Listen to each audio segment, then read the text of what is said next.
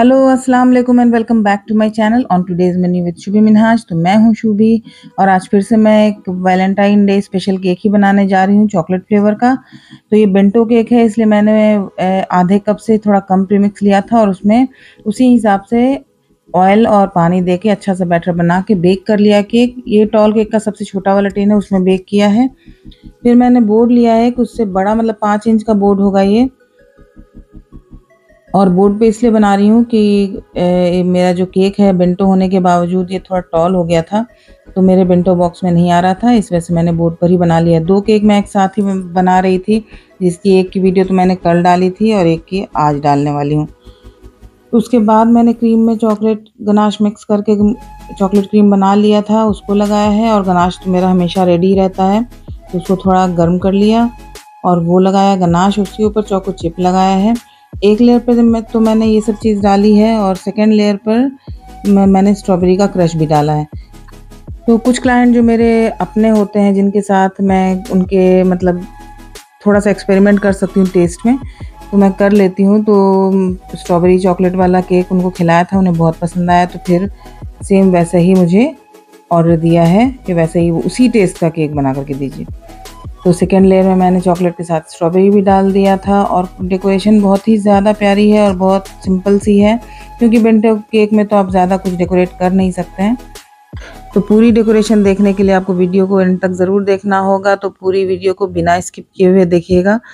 और मेरी वीडियो को वॉच कर लिया कीजिए प्लीज़ तो देखिए, मैंने ढेर सारा डाला इस पर स्ट्रॉबेरी का क्रश ऊपर से डाला चोको चिप अब जो नीचे वाली, जो बॉटम वाली लेयर होती है, उसको सबसे टॉप पर डाला है और उसके ऊपर भी गनाश को अच्छे से स्प्रेड किया तो ज़बरदस्त टेस्ट होता है इस तरह से आप केक को अगर बनाइएगा तो।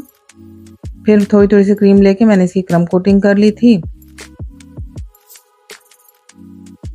और उसके बाद इससे, इसकी फाइनल फ्रॉस्टिंग भी मैंने इसी क्रीम से की थी। मुझे तो बेंटो केक की ही आइसिंग और लेयरिंग में ज़्यादा टाइम लग जाता है और ए, मुश्किल भी लगती है मतलब मेहनत ज़्यादा लगती है। हाँ डेकोरेशन इसमें कुछ ख़ास नहीं होती है तो फटाफट हो जाता है। लेकिन ये जो आइसिंग ये लेयरिंग और क्रम कोटिंग में थोड़ी सा थोड़ा सा मतलब मेहनत लगता है क्योंकि ये बहुत ज़्यादा हिलता है स्लिप करता है छोटा होने के की वजह से। और बड़े वाले केक में यहाँ पर बहुत कम टाइम लगता है मतलब लेयरिंग में और आइसिंग करने में टाइम नहीं लगता, जल्दी हो जाता है, फिर उसके डेकोरेशन जैसी होती है, उस हिसाब से उसमें टाइम लगता है। तो ये मेरी जो है फ्रॉस्टिंग इसकी हो गई है मतलब फाइनल आइसिंग हो गई है। जहाँ पर थोड़ी बहुत क्रीम कम लग रही थी, मैंने लगा के अच्छे से कर दिया था। अब इसके ऊपर मुझे जो है चॉकलेट गनाश पोर करना है। तो मैंने एक तरफ़ से चॉकलेट गनाश पोर किया है और थोड़ा सा स्पेस छोड़ दिया है और बाकी जगह पर मैंने गनाश बोर करके थोड़ा ड्रिप भी साइड में गिराया है। अब पाइपिंग बैग में मैंने 46 नंबर वाला नोज़ल लगाया है और रेड क्रीम मेरे पास थी।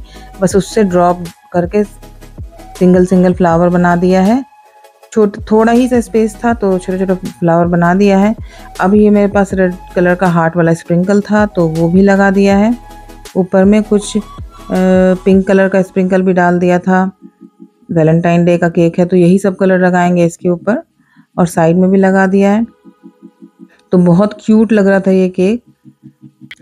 और मैंने लास्ट में इसका प्राइस भी लिख दिया है। तो ऊपर जितना फ्लावर बनाया था, उसके बीच सेंटर में एक एक स्प्रिंकल डाल दिया और नीचे बेस पर मैंने वो जो वर्मिसली वाला स्प्रिंकल होता है वो लगा दिया। और सबसे आखिर में मैं जो हमेशा करती हूँ स्प्रे करती हूँ गोल्डन ये कोई भी लस्टर डस्ट का तो इस पर गोल्डन लस्टर डस्ट स्प्रे किया था, जिसे प्यारी सी शाइन केक के ऊपर आ जाए। तो ये वाली डेकोरेशन मुझे मेरी बहुत प्यारी लगी। आप लोगों को कैसी लगी कमेंट में ज़रूर बताइए अगर वीडियो मेरी अच्छी लगी होगी तो इसको लाइक ज़रूर कर दीजिएगा और शेयर भी कर दीजिएगा अपने फ्रेंड्स और फैमिली के साथ। और अगर चैनल पर नए हैं, अभी तक सब्सक्राइब नहीं किया है तो प्लीज़ जल्दी से जाके सब्सक्राइब कर दीजिएगा और बेल आइकन भी प्रेस कर दीजिएगा नोटिफिकेशन के लिए। अभी मैं बहुत सारी वैलेंटाइन डे स्पेशल केक की डेकोरेशन आपके साथ शेयर करूँगी। तो मेरी वीडियो को देखते रहिएगा चैनल पर बने रहिएगा। तो चलिए, कल फिर मिलेंगे हम इसी तरह की प्यारी सी वीडियो के साथ, नए आइडिया के साथ। तब तक खूब केक बनाइए अच्छी अच्छी डिज़ाइन ट्राई कीजिए। जितना ट्राई कीजिएगा, उतना अच्छा रहेगा। अपना पूरा पूरा ख्याल रखिए, दुआ में याद रखिए। अल्लाह हाफिज़ एंड थैंक्स फॉर वॉचिंग